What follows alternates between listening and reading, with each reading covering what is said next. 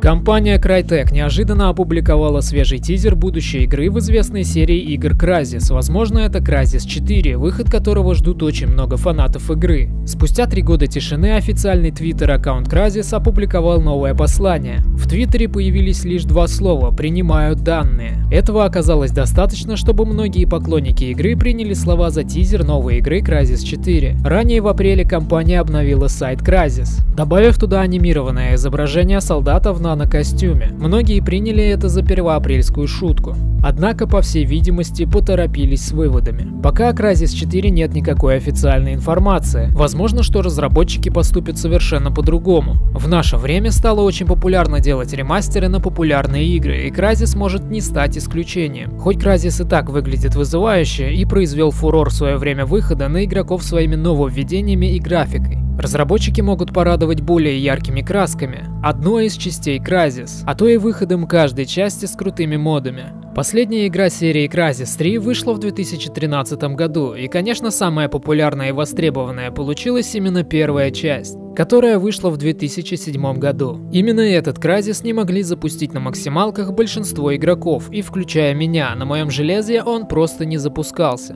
По большинству комментариев о Crysis можно предположить, что игрокам надоело играть в графику, и они ждут хорошего сюжета, чего мы будем и ждать от Crysis 4. Ну а если и выйдет ремастер, то по всей видимости именно на первую часть. Тогда нам придется поиграть в графику, но с большим удовольствием. На этом все новости на сегодня. У микрофона, как всегда, Мурма на канале Мурма Шоу. Не забудь поддержать этот ролик лайком и посмотреть другие не менее интересные видео на канале. Спасибо за просмотр и до новых встреч.